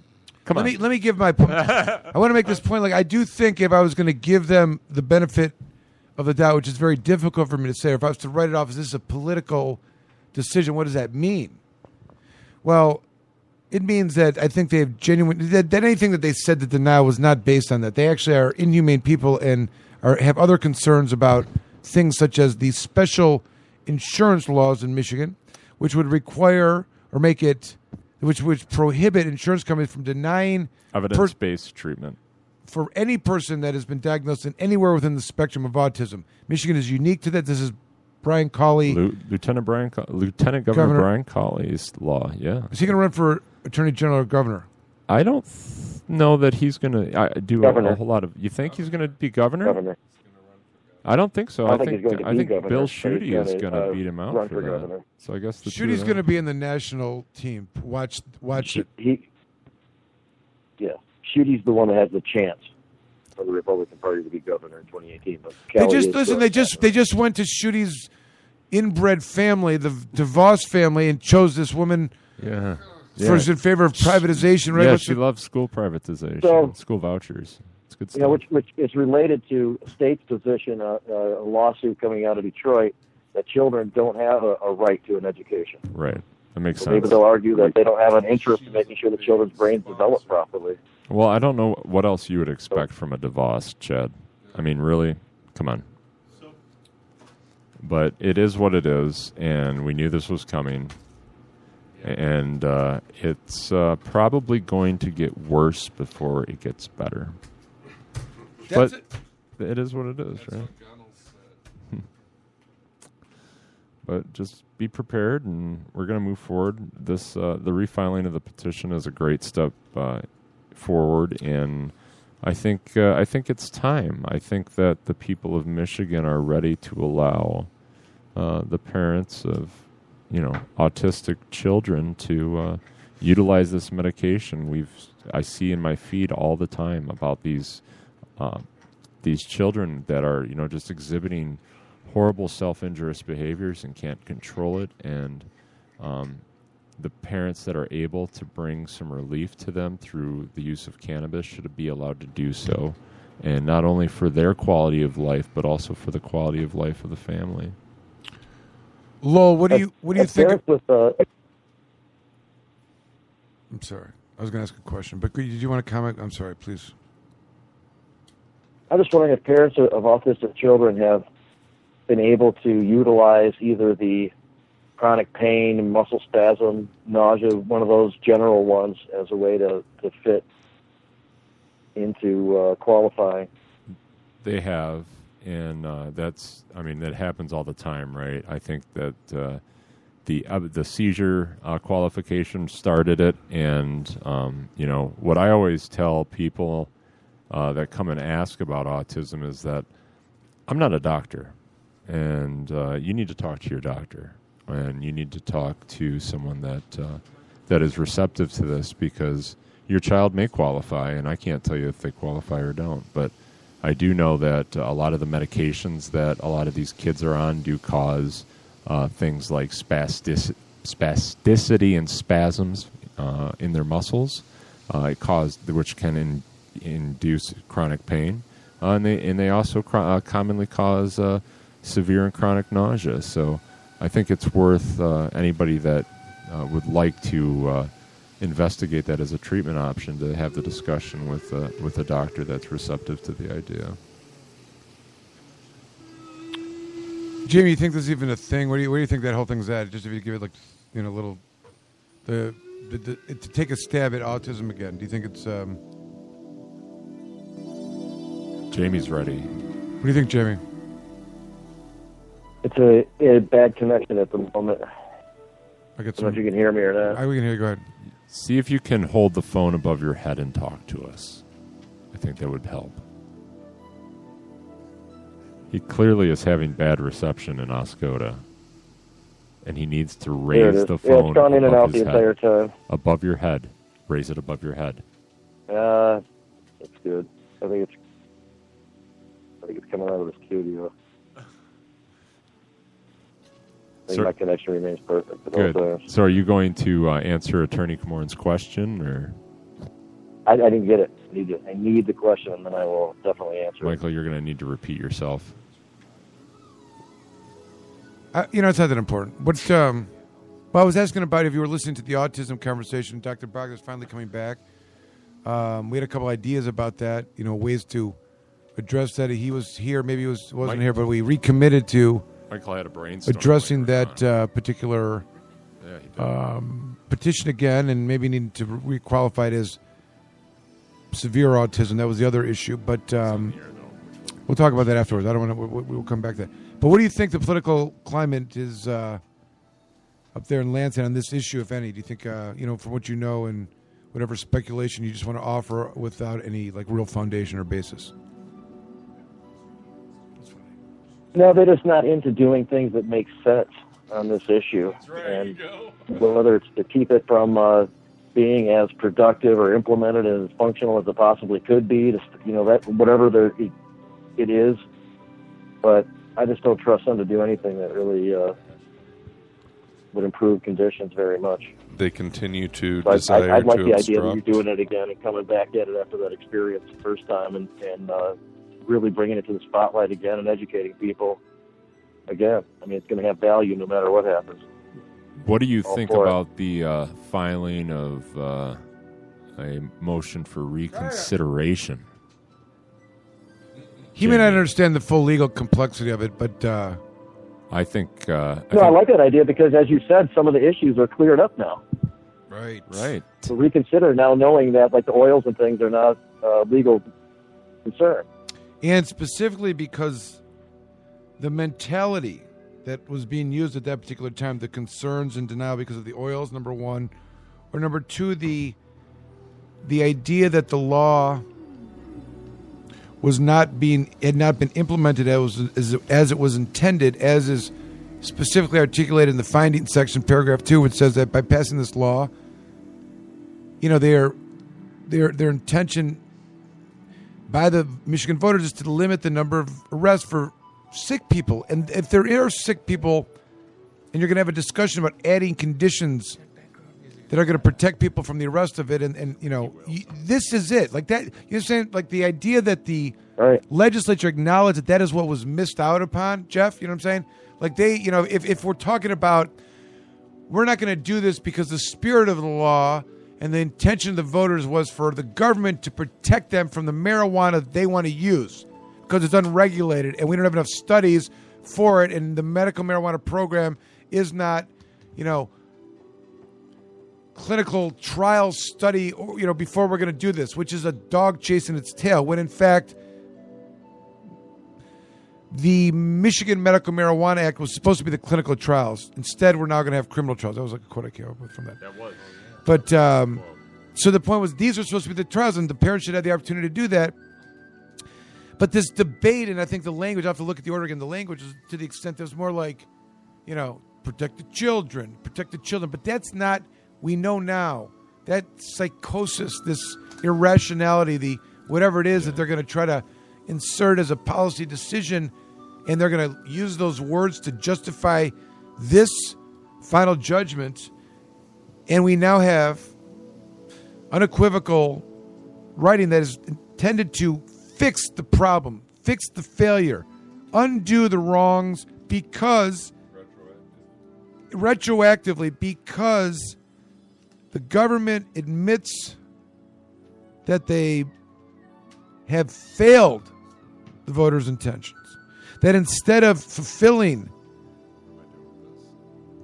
Section 2B, that by passing law, vast majority of sick people will will not get arrested or be protected from arrest was the intention that that not only didn't happen but that is the focus by which they got off track upon which resulted in 17% increase in arrests 20 to 26 million dollars every single year in forfeiture proceeds just forfeiture proceeds and a continued 40% of the crime lab resources being spent on testing marijuana which is the reason why they've been unable to catch up with the rape kits that Yes, still remain backlogged. Yep. So my point is that you know the amendments themselves have uh, 4210 have real meaning. You know, it's like a it's like however it was in the past was really bad, wrong, and, and, thought differently. And in order for us to really fulfill the obligation that we've not been able to do, we need to allow the freedom to go back and undo wrongs curatively and retroactively. So it's something to think about. We have to look at it and maybe. We got to take a break. Why? I, I want to. Cu- we we have a cou- few bills we should probably talk about tonight before we wrap up. Jamie, you, you ready to talk about the Bills? Jamie's ready. He's he stands by ready, one All right. hundred percent. So let's take a break. Let's listen to some really offensive music, I think, and uh, let's talk about some of these bills that are going to hit the Senate Judiciary Committee next week. Ah, okay. I know what you're talking about. Sicker than your average. Papa twist cabbage off instinct. Niggas don't think shit stink. Pink gators. My Detroit players. Tim's for my hooligans in Brooklyn. Dead right, if the head right, Biggie there, and night. Papa been smooth since days of under rules. Never lose, never choose to. Bruise, cruise, who? Do something to us. Talk, go through us. Girls want to us, wanna do us, screw us. Who us? Yeah, Papa and Puff. Close like Starsky and Hutch, stick to clutch. Yeah, I squeeze three at your cherry M3. Bang every MC easily. Take that. Recently, niggas frontin' ain't saying nothing, so I just speak my peace, keep my peace. Cubans with the Jesus peace, with my peace. Packing, asking who want it. They got it, nigga flaunt it. That Brooklyn bullshit, we on it. Biggie, biggie, biggie, can't you see? Sometimes your words just hypnotize me. And I just love your flashy ways. I guess that's why they're broken, you're so fake. Biggie, biggie, biggie, uh-huh. can't you see? Uh-huh. Sometimes your words just hypnotize me. And I just love your flashy ways. I uh-huh. guess that's why they're broken, you're so uh, fake. I put hoes in NY onto DKNY. Miami, DC, prefer Versace. All Philly hoes know it's Moschino. Every cutie with the booty, boy, the coochie. Now who's the real dookie? Meaning who's really the shit? Them niggas ride dicks. Frank White pushed the six on the Lexus LX, four and a half. Bulletproof glass tips if I want some ass. Gon' blast, squeeze first, ask questions last. That's how most of these so-called gangsters pass. At last, a nigga rapping about blunts and broads, tits and bras, menage a trois, sex and expensive cars, and still leave you on the pavement. Condo paid for, uh-huh. no car payment. At my arraignment, no for the plaintiff. Your daughter's tied up in the Brooklyn basement. Face it, not guilty. That's how I stay true. Richer than richer, so you niggas come and get me. Come on. Biggie, biggie, biggie, can't you see? Sometimes your words just hypnotize me. And I just love your flashy ways. I guess that's why they're broken, you're so fake. Uh-huh. Biggie, biggie, biggie, uh-huh. can't you see? Uh-huh. Sometimes.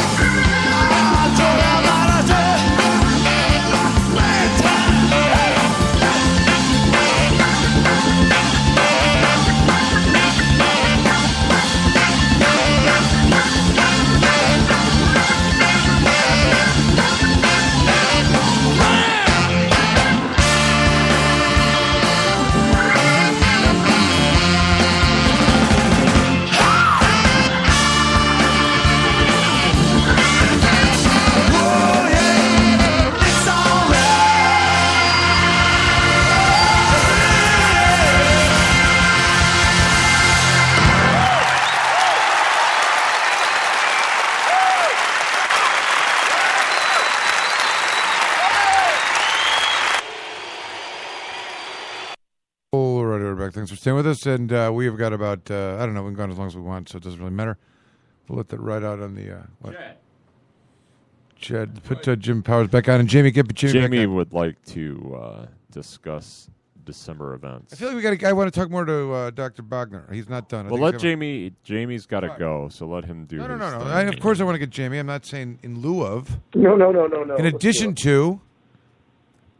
Go ahead, Mr. Interesting. Please go ahead. Are you, are you, are you addressing me? Mr. Interesting?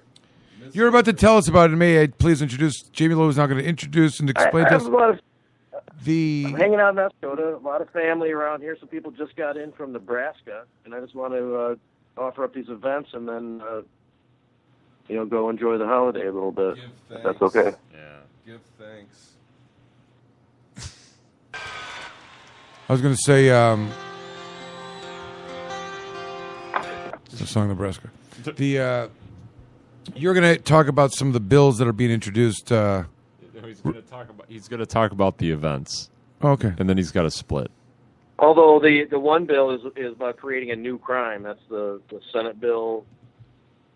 Uh, Jones, like a, I'm not sure what the number is, like a one one four one or something like that. It's a felony for a caregiver to sell to a dispensary. Is that one of them? Uh, I believe that's Senate Bill. Uh, No, I don't think so. I'm not sure what the number was. Maybe I'm not really sure, but I know that there's the And then the, then there's that administrative rules one. That uh, to suspend the administrative rules. Yes. give a different. Yeah, eleven oh nine. That's getting voted on. I've been telling people that that died in the uh, committee.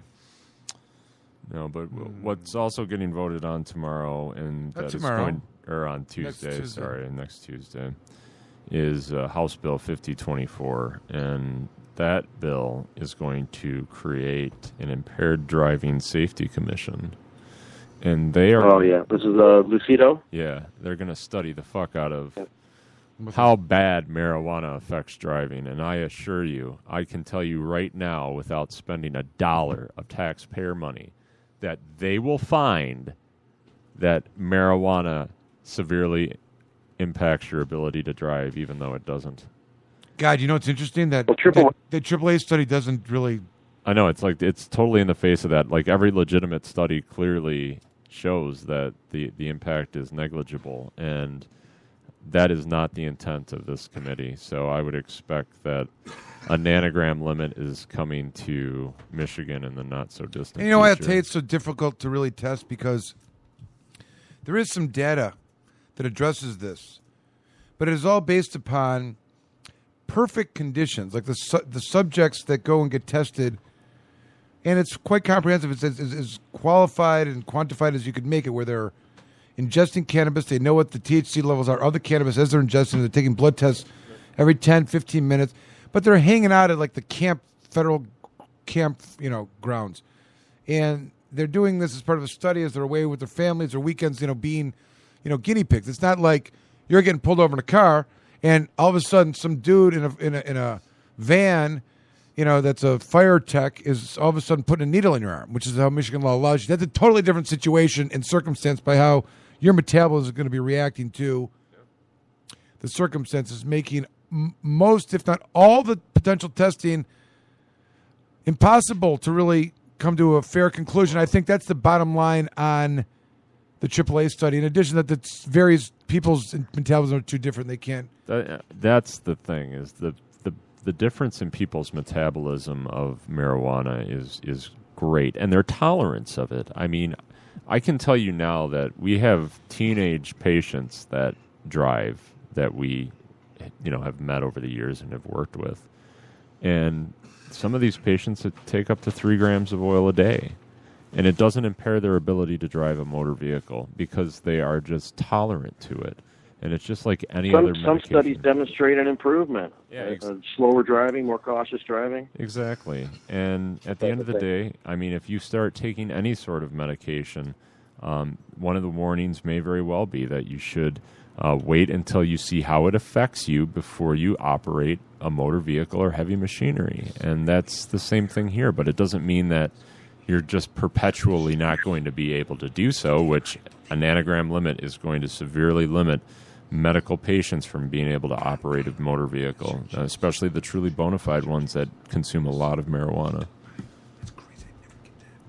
It is crazy, Michael. Marinol has that that warning, and it is you know synthetic THC. So the other bill you're talking about, and you're talking about the suspension of the administrative rules. That's nothing but uh, that's a coup. That's like a, the the rules are not. There's no rules. I don't. I don't think I see that on the list. That's if there was a. I don't see it on the agenda. Not to say that it's not. That is just that's in the pipeline. It's it's probably not up for. I thought it- not- okay, good. not the one that's being It's not- I- it never made it out of committee. talking about the one- I thought it didn't make it out of committee, so I'm not going to panic about that. I do think the one that is most interesting to Didn't it, didn't it move out of the Senate and it's in the House now? Or is it or has it just been introduced? I thought it moved through the Senate for some reason. There were five bills that moved, and, the, and then two of them are left behind for the House to deal with, which Okay. is the new crime and uh, the other one. I'm not sure. what uh, That was my. what they are also trying to do, and they did this. Uh, they're trying to synchronize the penalties for Yeah. what is known as syn- synthetic, Synthetic marijuana. What they are calling And that's that's coming. That's that is up on Tuesday, which is in direct response to you Thank and you. Attorney Frazier. That's right. So let's talk about that. That's always fun to talk about. Uh, Jamie, uh, keep, That's the that's the Good Samaritan the Good Samaritan bill, right? Oh, this Funny, ain't no good funny. Samaritan bill. This is uh, you're going Well, to jail if a- you're possessing there is synthetic reference to, marijuana uh, bill. penalties of synthetic marijuana in that Good Samaritan bill. I don't see. Uh, maybe I'm.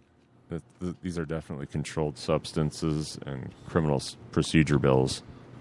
They, uh, what they've done here is they've Well, I mean, those guys know what I'm talking about. synchronized the penalties for synthetic THC and marijuana. Yes.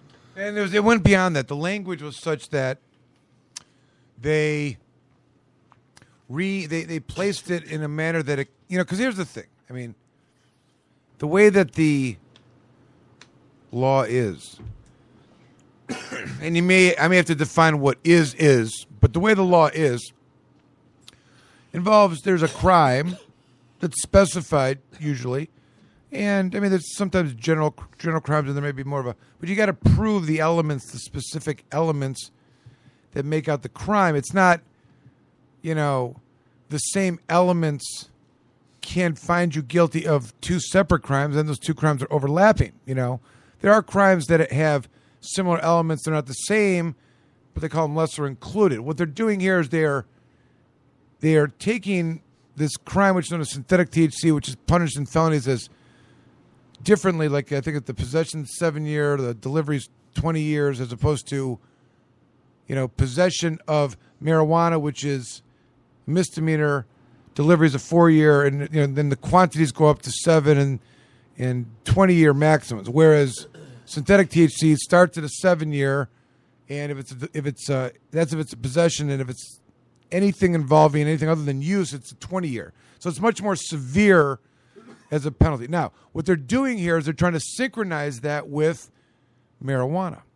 And the reason why they're trying to do that is because the way that their current lab reports read when they test non plant material cannabis that they know is cannabis, when they do that, they report it as being tetrahydrocannabinol, Schedule 1, origin maybe from a marijuana plant, could be from synthetic source.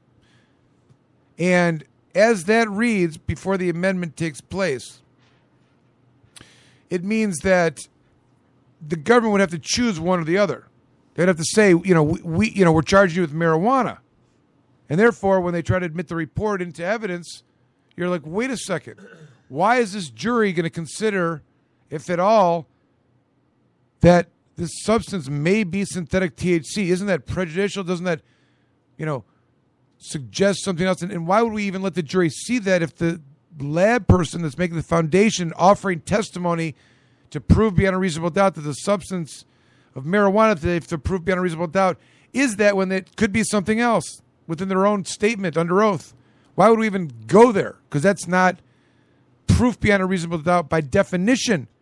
They don't know what it is. Not sure. Could be. Possibly not. You know. So all of that nonsense is the way it stands right now. How could you convict somebody when the government doesn't know what the substance is? Okay, so someone's on trial for heroin, possession of heroin, and the lab report comes back as it could be heroin, it could be cocaine.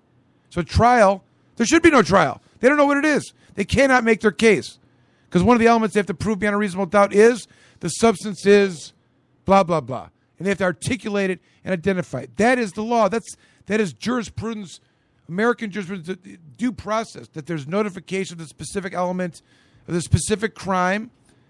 Oftentimes, you may have to do a bill of particulars so you can articulate, so that you make the government articulate their theory of the case, what elements they think they're going to prove and where they're going to get it from. But it shouldn't be that complicated. The crime is charged, and the problem that they have right now is that you know any case that has these kind of lab results, I would argue, should not be admitted, and the evidence is, is of no value to the jury because they can't say what it is. Okay? So that's the way it should be. Now, they amended the law to include these items as being things that are within the usable marijuana, but this too is a red herring. Like the Carruthers was a red herring that they weren't usable because the lab hasn't changed. They're still reporting it as something. You could say this is a medible schmedible, and they're going to say tested. They don't see any plant. They're going to say, well, it could be synthetic THC or it could be marijuana. We're not sure, right?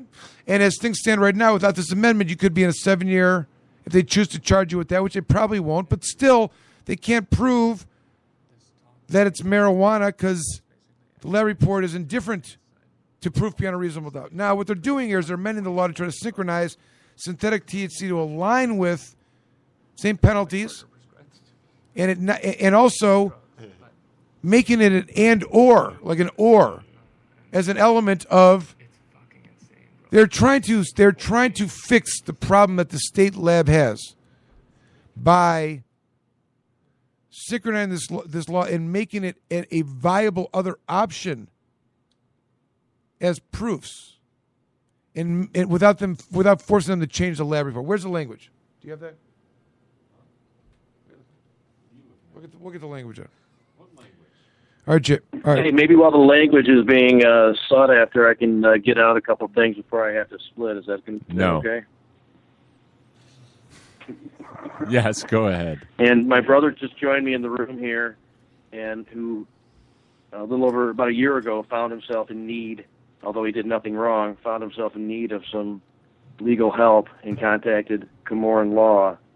And without even having to drive up here and make an appearance, just working from the office, Komorn Law resolved his situation. Boom. That's how awesome. That's how awesome Komorn Law is.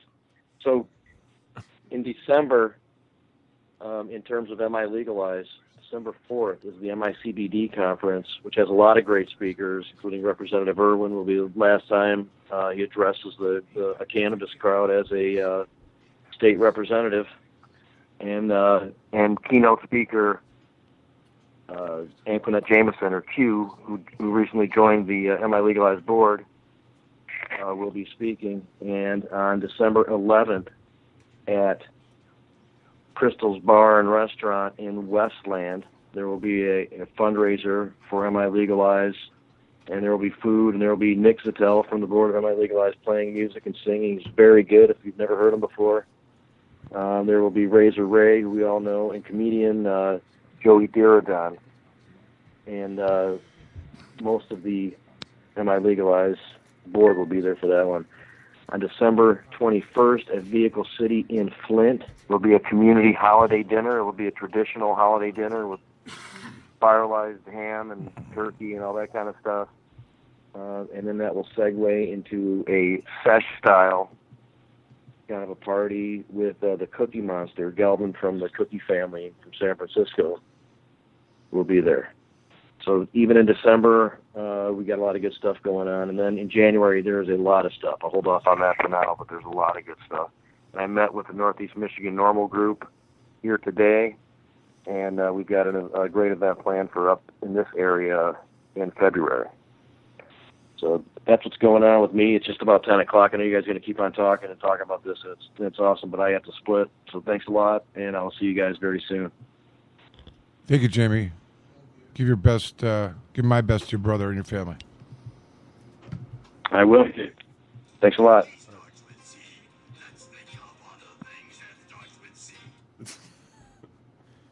All right. Sorry, I had Cookie Monster on so the brain. The bill, what's going on with that, Chad? You got to... What bill are you looking for? Which one exactly? The one that I just did like a ten minute like foundational discussion I was about. Then I was couldn't distracted. call up the exact language. So you're I- talking about I'm the- silenced myself, and I'm waiting for the exact language. Could you get the? I'm I'm looking. Hold on. Hold on a Oh second. yeah, yeah, yeah, let's. Oh yeah, right.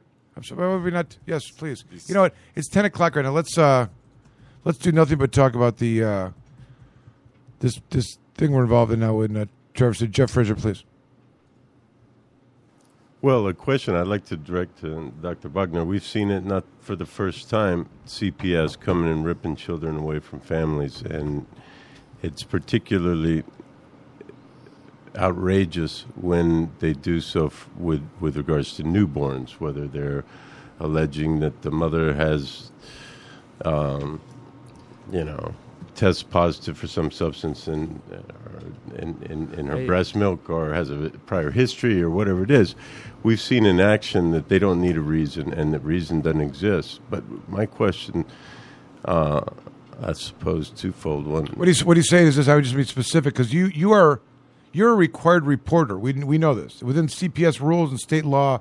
No, if- I'm not. Not me. The hospital is. Okay. Um, I don't. I stand in front of the door, blocking CPS to go into the room if I can, to say why are you harassing this mother with her newborn when there's no harm evidence uh, to the newborn? Show What- me, show me evidence, and and they, you know, then we have an argument. But CPS, You know, they, does listen. not If if, if, if if a family member does that, that'll be held against you because you got a bad attitude. Don't think. no, Well, seriously, they make that they say it's uncooperative. Well, let me ask you a Uh, question this way: Under what circumstances, as a medical doctor, would you sign off on taking a newborn baby off of a mother's breast? in exchange for No, under anything else, or you know, knowing that they're the only other option is not going to be her breast milk and the, you know, she's available, but they're not going to let it happen because Is of that the harmful? safety to the baby. Is that harmful? Well, there's two. There's several aspects of that. The, the first one is the mental harm that's caused. You know, the lack of bonding with the child, which can be very, very, very important for the mother to decrease the risk of postpartum depression. You know, which can lead to postpartum psychosis, which can lead to to death. Um, but also, What about to the baby? Is there a direct? of course, the, the babies who are separated from their children, um, more so after four months of age. But no, actually, after the four months of age, uh, causes um, antisocial behavior, more depression in laterly years. Prior to that, not so much, but um, it is still the breast milk itself that will cause the baby to be healthier. Um, as we know, the first three days, like I discussed with you earlier, does not contain milk at all. In fact, it's called colostrum, and it's a very high fat, very high lipid content uh, medium that carries immune cells into into the baby from the mother. So basically, she's upgrading her immunity to many viruses, uh, such as hepatitis and you know other immunities to the flu virus and, and things like that um, that she has developed over the most year. That, that's why you don't see a newborn baby being so susceptible to disease. Um, and so it's very important that the baby gets those first three days of breast milk because uh, of the health benefits down the line. Just those three days will protect the baby for one year of immunity before the baby actually would require, let's say, a Hep B shot and things like that. So you would require extraordinary danger to the child before you take it off from a mother's breast. Uh, not extraordinary danger? Uh, direct harm, but um, you know, it's definitely less beneficial for the baby's health. It's not as healthy as it would be on the breast. It's but it's not that you directly cause harm to the baby. Well- and we don't know the effects mentally, of course. Well, let me ask you this: take it off the mother's breast, take the baby off the mother's breast, and now you're going to feed the baby Enfamil or Well, that's the next thing. Then actually the question is, uh, how much harm are you doing to the baby? And yeah, uh, as again we discussed earlier, we found evidence of pesticides and soy-containing uh, formula of the baby, such as Enfamil or Similac. Uh, bo- both are soy and corn-based, and you know, more than 90% of corn and soy, as we all know, is genetically manipulated for one reason to be pesticide resistant. And so, Enfamil has found 170 parts per billion, for example, uh, glyphosate contamination because it is soy based. And uh, if you correlate that to any clinical relevance uh, of 170 parts per billion, 5.2 parts per million causes uh, uh, white shrimp to die when exposed to such levels. And so uh, you can see that 170 parts per billion would be uh, potentially very detrimental and destroying the you know gut of the baby, causing inflammation and colic and all of these things. Last quick question. Uh, I read on the internet, so it's obviously true, that there were endogenous cannabinoids in mother's breast milk. Absolutely, yeah. Yes? Yes, uh, the cannabinoid receptor is the most widely uh, expressed receptor, one of the most widely expressed receptors in the human body. And so we have cannabinoids everywhere um, in breast milk, in our saliva, in our urine, everywhere. Uh, it's floating around in your system at any moment that we speak. Um, so can, the, the endocannabinoid system is very, very uh, uh, involved in every process of our body, not just in the brain or in the liver, it's everywhere.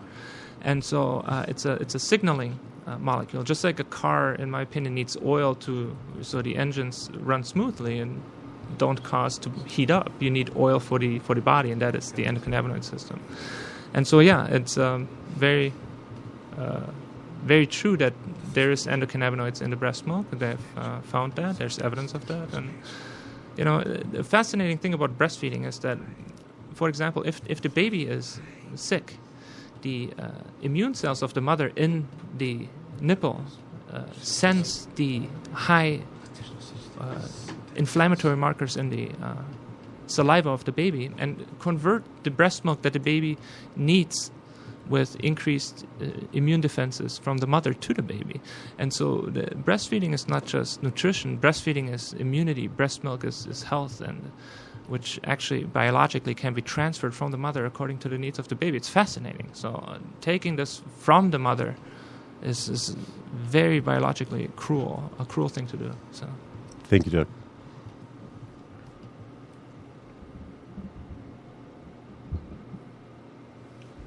So, what was the final conclusion here? Is that, is it, I mean, Well, I think that good Dr. Bogner needs to be testifying for us.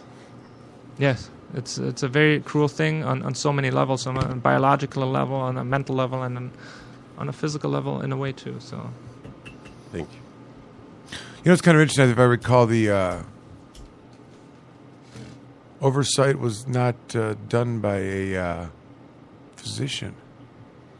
You know what I'm saying? Like there was a, there was the the alternative care and oversight at the hospital. That kind of birthing uh, hospital, so to speak, and that they they have a midwife. Is that what they call them? In uh, They had like a midwife, nurse. had a nurse. I don't, I don't, I'm not. they were calling for the, whole doctor because they're having you know issues with uh, babies born healthy, but you know it was it was it was and, and then and then it, but but who cares after that? Like there is no oversight in decisions being made on behalf of the baby from a doctor's perspective. Think about that.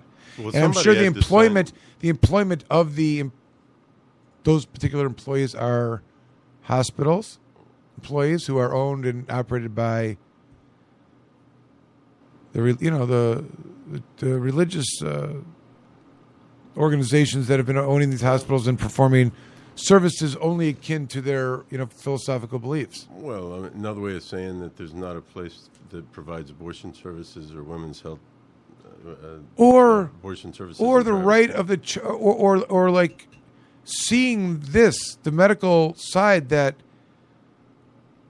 pulling the baby off under those circumstances is the wrong thing to do and nothing would justify it under any circumstance unless there's really something wrong Well, we need to see who who signed the paper that discharged their baby because I can't.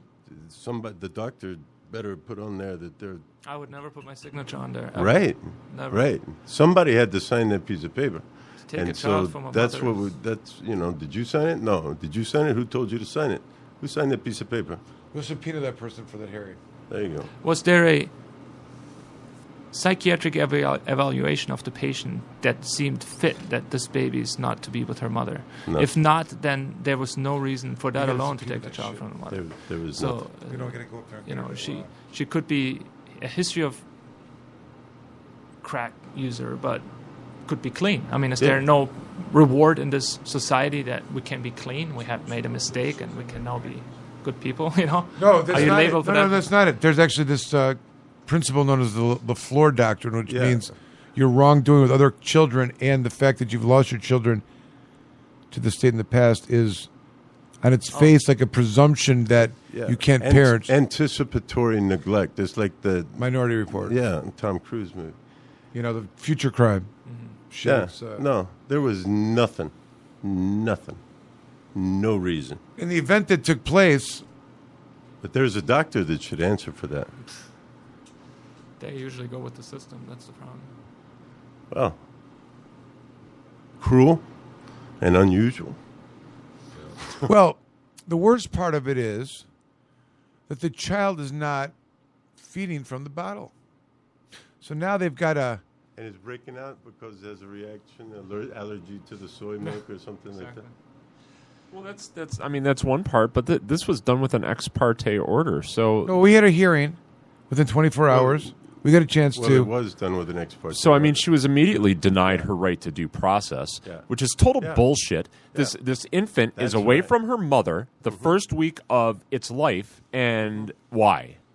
Why? I mean, yes, there were horrific circumstances surrounding this accident with this firearm, but I'm sorry that doesn't preclude this No. woman from raising her children. Certainly breastfeeding. I mean, we could at least be certain that while she's in the hospital, that exact situation can't happen, right? Right. It- you know, there's no guns in there. They're not going to let that happen. It's just fucking, you know. Do you know what happened? The the uh, it was a very traumatic doctor. It was interesting that you said you blocked the door. This is what happened. Horrific birth. She said she was bled out, had problem getting rid of the placenta. They're in there pulling it out, just pain, agony. You know, an hour afterwards, she's breastfeeding. In was it terrible? It's my daily life. My. Okay. okay. So, uh, you know, so an hour afterward, they're breastfeeding, and bam, their CPS wants to get in there. An hour afterwards. And the way the story is told that the grandmother God bless. says, come back later. She just gave birth. You know, could you have a moment to let the mom and the baby connect here? You know? And they said, let us in. I said, please. Please. And they said, we're going to get a court order. They came back two hours later with the cops, and they ripped this little baby to protect it from the mother who was breastfeeding off the baby's off the mama's breast and took it to a different portion of the hospital to protect it and stuck it on the incubator. formulator formula and incubator yeah started growing it incubating it Yeah. so that's uh and so then we appeared the next day. We get this news at 10 o'clock at Oh, night. I, I- thought that was uh, a little Jewish baby from 1943, and what the Gestapo came in and took. I mean- uh, I, I didn't know it was the case from today. I'm sorry. Yeah. It is uh it's pretty crazy that something like that could could really happen. I agree, especially and, and what happened was this happened at night. There's a court order that was given, but we get a call at 10 o'clock at night and we mobilized. Like we, you know, fuck six o'clock in the morning, we're trucking up to the Great White North up there in Traverse City. And um, we're entitled to a hearing where they have to establish that there's, you know, imminent harm to the child that justifies the, you know, the court made this decision ex parte, okay, blah. They came to them, you know, save the child, save the child. It's got to be something, blah, blah. But we get a hearing, great, no due process, but this is how this shit rolls. Judge already decided that it's not, she's not keep maintaining jurisdiction, was going to rule on this because we have a right to a hearing. And we, you know, it was, uh, it was all based on what happened nine months ago. There's no, there's nothing. It was nothing. It was just, uh, it was really facade. It was actually kind of disappointing. Then the court tried to,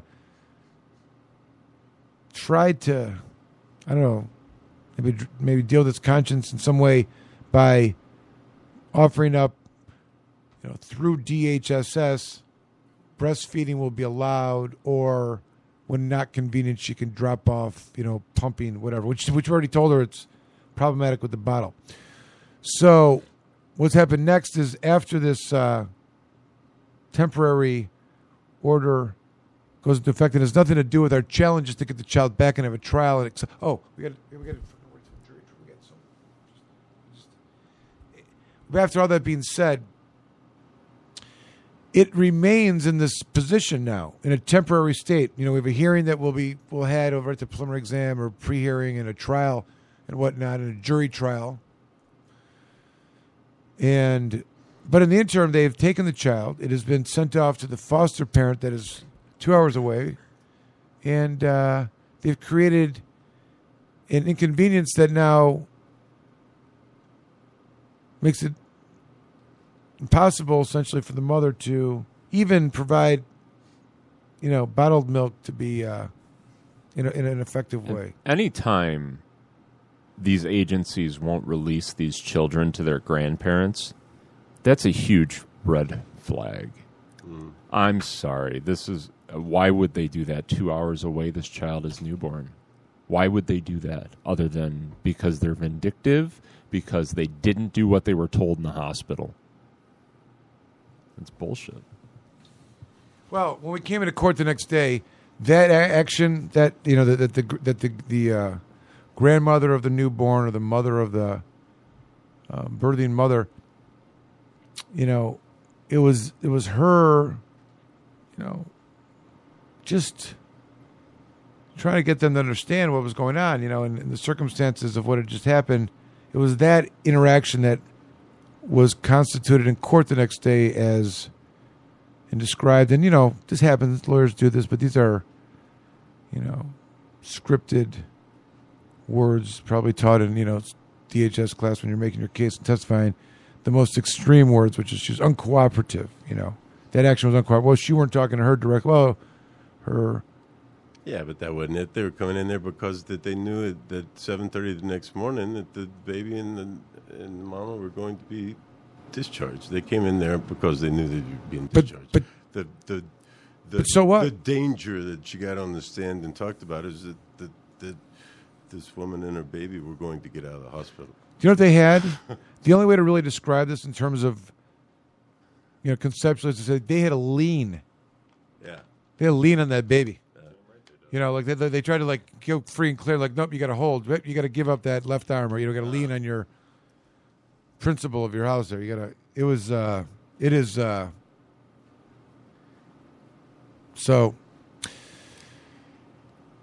we're gonna be in. You know, it's gonna be nice. Uh, I do believe, though, that the physician should be more involved and actually have a word in that and Yeah. make it more difficult for these institutions to do that. So we can't just stand there and let them do whatever they want to do. So I All right. just stand up for what's right. What we're going to talk about because we're, we're going to wrap the show up here because it's time probably, and uh, I want to get more uh, specific with you about this thing. So, anyways, any final words? Anyone got any thoughts? Josh is here. Josh, how you doing? Good, uh, good stuff. What's going on over there? Hey, not too much, Michael. How you doing? Good, good. Thanks. I heard you Happy were. holidays. I heard you were trolling online. What's going on with that? Did Ch- did Chad teach you that?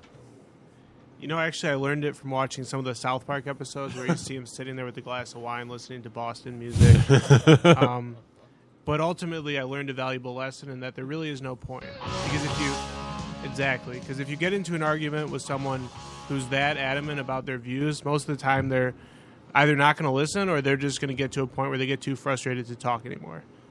And that's kind of what I see as one of the biggest issues. If you kind of look at this whole situation on a whole, is that people have stopped trying to have a dialogue and it's just turned into a hate battle.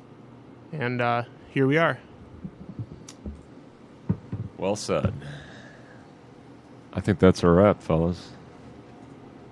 Chad looks like he's about to. How about uh, Happy Turkey Day. Jeanette? What Jeanette? Any final words? What do you think? Was it a good? Does, do we not talk? We probably should have talked about the uh, other thing more. I'm sorry. Did you have anything you want to? Chad, come on. I mean, come on. Technical fault now. Deals off. It does feel. You know what gives me hope, Michael? Please. That if all of humanity disappeared from the earth, in 10,000 years, the earth would be healed again. So maybe Only 10,000 years. the shit out of it. That's amazing. Amazing fact. Meaning the sense of doom that awaits us is okay. We should say we should embrace us because in the end, The earth will flourish Wow. Until it's consumed by the sun. Right, that's what. What happens if that happens in between that little gap? We're waiting for the rebirth. It's like, whoops, sorry. That's an unknown unknown. That's an un- all right. I think we can trust Trump to stop it, though. Yeah, Right. It's going to be huge.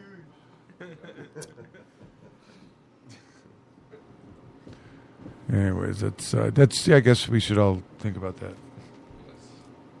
All right, so that's it. We'll uh, wrap it up there. We're going to. Uh, thanks for listening. Be safe out there. Tonight happens to be the most uh, policed, policed, that Night word ever. enforced of driving, looking for bar nights, Yeah. starting now, Right 10, now. 10 o'clock to Right now. three o'clock. Be careful. Komorn Law, Cannon will represent you though. If you need us, I will answer a call if you have an issue right now. Michael will come with out to the police. roadside I'm not doing that. I sobriety don't, test. I don't want to be a witness. I Don't want to be a witness. I can advise you from the phone, and that's something He will that, be uh, there directly and will hold your hand so you don't fall doing the uh, Chatter Josh may step show and up. turn. So it'll be good. Alrighty, be safe. Be there.